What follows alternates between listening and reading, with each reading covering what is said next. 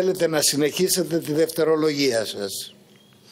Ορίστε κύριε Ραγκούση, έχετε το Ευχαριστώ λόγο. κύριε Πρόεδρε. Καταρχάς ευχαριστούμε θερμά κύριε Υπουργέ για την τιμή που μας κάνετε να απαντήσετε την επικαιρότητα που σας υποβάλαμε πριν από δύο μήνες. Βέβαια με την απροθυμία σας να μας απαντήσετε, το μόνο που τελικά καταφέρατε είναι να μας δώσετε τη δυνατότητα να τεκμηριώσουμε ακόμη πιο στέρεα τα επιχειρήματα και τις αντιπολιτευτικές μας αιτιάσεις. Διότι πλέον έχουμε στη διάθεσή μας 7 μήνες διακυβέρνησή σας και όχι μία ούτε δύο, αλλά πολλές αποκαλυπτικές αλήθειες που θα συζητήσουμε σήμερα για την πολιτική σας στον τομέα της ασφάλειας. Ας δούμε λοιπόν τον απολογισμό σας. Ας σας βοηθήσουμε με άλλα λόγια να κοιτάξετε τον καθρέφτη σας. Την ώρα που με τις πιο στιγνές κομματικές κρίσεις που έχουν γίνει στην ελληνική αστυνομία αποστρατεύατε άριστους αξιωματικούς, την ίδια ώρα επιστρατεύατε και μάλιστα αναβαθμισμένο ως Γενικό Γραμματέα του Υπουργείου σας, τον πρώην αρχηγό της Ελλάς που για την τραγωδία στο μάτι είχε εξαναγκαστεί σε παρέτηση. Την ώρα που μιλάτε στο όνομα του νόμου και της τάξης. Την ίδια ώρα κάνατε κουρελόχαρτο κάθε νόμο που δεν βόλευε τους κολλητούς του Πρωθυπουργού. Έτσι για να διορίσετε τον νέο διοικητή της ΕΕΠ, έναν υπάλληλο ιδιωτικής εταιρείας security, χωρίς πτυχίο, στο τέλος εξευτελίσατε τον ίδιο τον νόμο, καταργώντας την προϋπόθεση του πτυχίου ως προσόν διορισμού για διευθυντική διοικητική θέση στο δημόσιο. Για εσάς, τους δίθεν οπαδούς της αριστείας, τελικά νόμος είναι το δίκαιο του κολλητού σας. Την ώρα που θα έπρεπε να συνεχίζετε την πορεία εξυγχρονισμού των σωμάτων ασφαλείας, την ίδια ώρα εσείς επαναφέρατε μετά από χρόνια τις εκτός ΑΣΕΠ και εκτός πανελληνίων εξετάσεων προσλήψεις ειδικών φρουρών αντί αστυνομικών.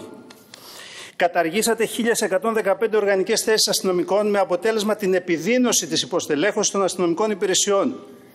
Παράδειγμα σήμερα στη Θεσσαλονίκη, στην Κρήτη, στην Αχαΐα, ιδίως στον Πειραιά, αλλά και σχεδόν σε όλη την Ελλάδα, σε αστυνομικά τμήματα και τμήματα ασφαλείας η υποστελέχωση αγγίζει το 40 έως 50% των υπηρεσιών. Σε πολλές περιπτώσεις οι διοικητές των υπηρεσιών για να ανταπεξέλθουν αναγκάζονται να μην διαθέτουν ούτε σκοπό κρατητηρίων, ούτε σκοπό φύλαξης της αστυνομικής υπηρεσίας με όποιο κίνδυνο αυτό συνεπάγεται και το γνωρίζετε καλά, αποκλειστικά με δική σας ευθύνη.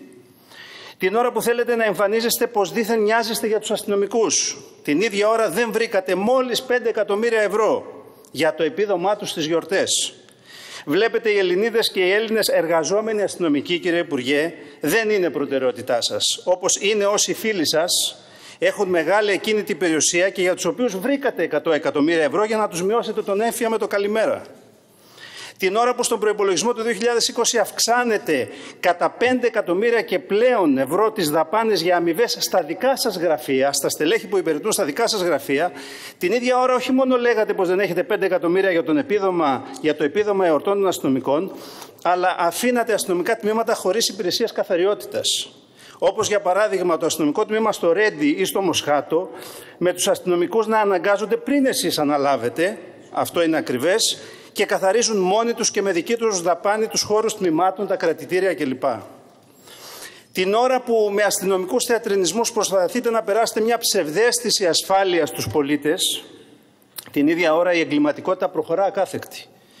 Με τους κατοίκους στα εξάρχεια να ξεσηκώνονται λέγοντας πως δεν μπορούν να περπατήσουν το βράδυ παρά μόνο σε δύο κεντρικούς δρόμους. Εμπορικοί σύλλογοι σε όλη τη χώρα, όπως για παράδειγμα οι εμπορικοί σύλλογοι της Νίκαιας και του Κορυδαλού, καταγγέλουν δραματική αύξηση ληστειών των καταστημάτων τους. Την ώρα που επιδίδεστε σε παραγωγή αστυνομικού θεάματος έχοντας μετατρέψει τους αστυνομικούς σε ηθοποιούς για τα τηλεοπτικά δελτία ειδήσεων, την ίδια ώρα η βαριά εγκληματικότητα είναι εδώ. Είναι εδώ με μαφιόζικες εκτελέσεις μέρα μεσημέρι μέσα σε οικογενειακές ταβέρνες όπως πρόσφατα στη Βάρη. Κάθε πρωί πια Μόλις οι κάτοικοι της Αττικής ξυπνούν, και αυτό μοιάζει με ανέκδοτα, αλλά είναι πραγματικότητα, και ανοίγουν τα παράθυρα, δεν κοιτούν να δουν τι καιρό κάνει. Αλλά πρώτα απ' όλα κοιτούν να δουν μήπως τους κάψανε το αυτοκίνητο. Την ώρα που ο κύριος Μητσοτάκης δημιουργούσε γνώση του ψεύτικες προσδοκίες, πως αρκούσε αυτός να εκλεγεί πρωθυπουργός για να τελειώνει το άβατο όπως το έλεγε των εξαρχείων ή για να τελειώνει ο Ρουβίκονας και τα γκρουπούσκουλα από τις 8 και όλας Ιουλίου, την ίδια ώρα η πραγματικότητα στα εξάρχεια καθώς και ο Ρουβίκονας διασύρουν εσάς και την αξιοπιστία σας καθημερινά και ασταμάτητα. Την ώρα που μιλάτε για δίθεν προστασία των ατομικών δικαιωμάτων, την ίδια ώρα τα καταπατάτε με τον πιο προκλητικό τρόπο. Όπως για παράδειγμα στο κουκάκι που σπεύσατε ακόμη και να προκαταλάβετε τα πορίσματα των δικαστικών και των ανεξάρτητων αρχών, λέγοντας πως δεν ασκήθηκε αστυνομική βία εναντίον του σκηνοθέτη Δημήτρη Ινδαρέ. Την ίδια ώρα που φωτογραφία του μέσα από τη Γαδά αποδείκνυε με αδιαφυσβήτητο τρόπο τον τραυματισμό του από την έκνομη και αντισταγματική αστυνομική βία μέσα στο ίδιο το σπίτι. Και εσείς αντί να νιώσετε υποχρεωμένος μαζί με τον κύριο Μητσοτάκη, τουλάχιστον να ζητήσετε συγγνώμη, συνεχίζετε να συγκαλύπτετε την έκνομη και αντισυνταγματική αστυνομική βία των λίγων, είναι αλήθεια, επίορκων αστυνομικών. Την ώρα που θα έπρεπε να δημιουργείτε συνθήκες διακομματικής συνένεσης και συνεργασίας.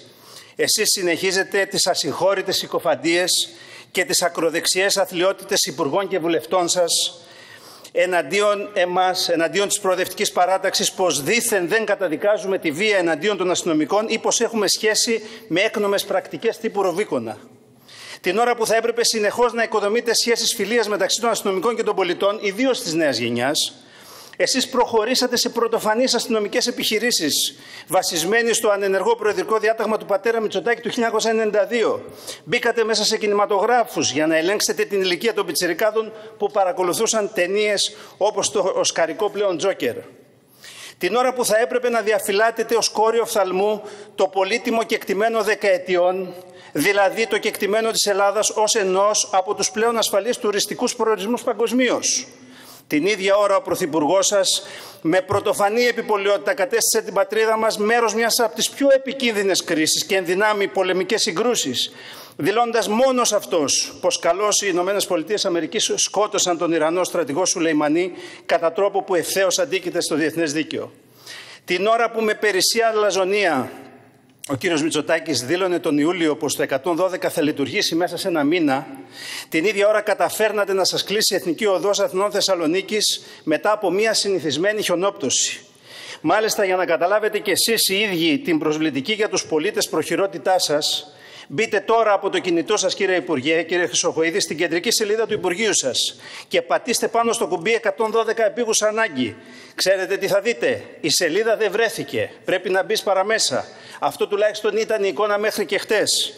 Αυτό είναι το επιτελικό κράτος για το οποίο κομπορημονείτε διαρκώς. Την ώρα που προσπαθείτε να διαψεύσετε τις επικρίσεις μας, την ίδια ώρα μας επιβεβαιώσατε με τον πλέον επίσημο τρόπο. Πώς; Μόλις προχτές προχωρήσατε στην αντικατάσταση του Γενικού Αστυνομικού Διευθυντή Αττικής, που εσείς τοποθετήσατε με το που αναλάβατε καθήκοντα και ο οποίος ήταν ο επιχειρησιακός υπεύθυνος και στα εξάρχεια και στο κουκάκι και στις εφόδους κινηματογράφους όλη αυτή την περίοδο των 7 μηνών. Την ώρα που ανταλλάσσετε μεταξύ σας συγχαρητήρια Πρωθυπουργός και Υπουργός, την ίδια ώρα η αποδοχή της πολιτικής σας στον τομέα της ασφάλειας από την ελληνική κοινωνία μειώνεται διαρκώς. Ξεκινήσατε με 70% θετικές γνώμες. Και στην πρόσφατη έρευνα της μέτρων ανάλυσης για το βήμα της Κυριακής, οι θετικές γνώμες έχουν πέσει στο 45, οι αρνητικές στο 48, για πρώτη φορά περισσότερες είναι οι αρνητικές. Την ώρα, κύριε Υπουργέ, που επιδιώκετε να εμφανίζεστε αφοσιωμένοι στην επίλυση των προβλημάτων των πολιτών συνολικά ως κυβέρνηση, την ίδια ώρα πυκνώνετε την αδιαφάνεια στη διαχείριση του δημόσιου χρήματος. Αυξάνετε την ενασχόλησή σας με περίεργες business πριν από λίγες μέρες προχωρήσατε στην πρωτοφανή στα μεταπολιτευτικά χρονικά ενέργεια να νομοθετήσετε μυστικά κονδύλια στην πολιτική προστασία.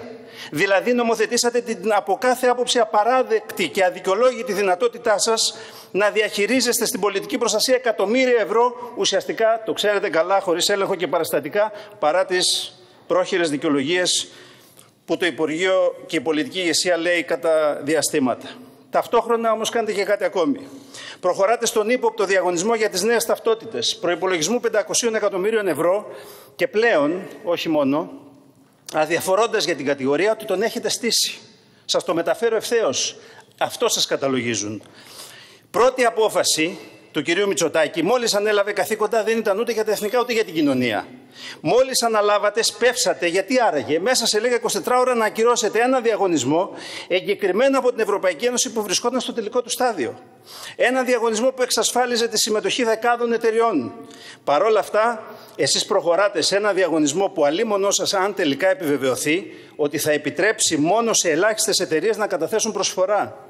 Κανονίστε γιατί έτσι όπως το πάτε θα έχετε άσχημα ξεμπερδέματα, σας προειδοποιούμε. Τελικά, την ώρα που θα έπρεπε να εφαρμόζεται ένα συνολικό επιστημονικά συγκροτημένο σχέδιο ασφάλειας και αντιμετώπισης εγκληματικότητας, την ίδια ώρα εσείς απλώς μεθοδεύετε τη μετακίνηση εστιών εγκληματικότητας στους παρακάτω δρόμους από εκεί που τις έχουν εντοπίσει τα μέσα μαζικής ενημέρωσης. Και για να το αποδείξουμε αυτό, κύριε Υπουργέ, θα δώσουμε ενδεικτικά στη δημοσιότητα τώρα, παράλληλα με την κοινοβουλευτική μας συζήτηση, ένα πολύ σύντομο βίντεο με εικόνες που καταγράψαμε με τη βοήθεια του Left και του δημοσιογράφου Άγγελου Καλοδούκα. Δύο λεπτά το πολύ θέλω κύριε Πρόεδρε. Καθώς και με τη συμπερίληψη ρεπορτάζ του Sky, πώς γνωστόν δεν είναι ο ΣΥΡΙΖΑ, από δρόμους του κέντρου στους οποίους μετακινήσατε την παραβατικότητα.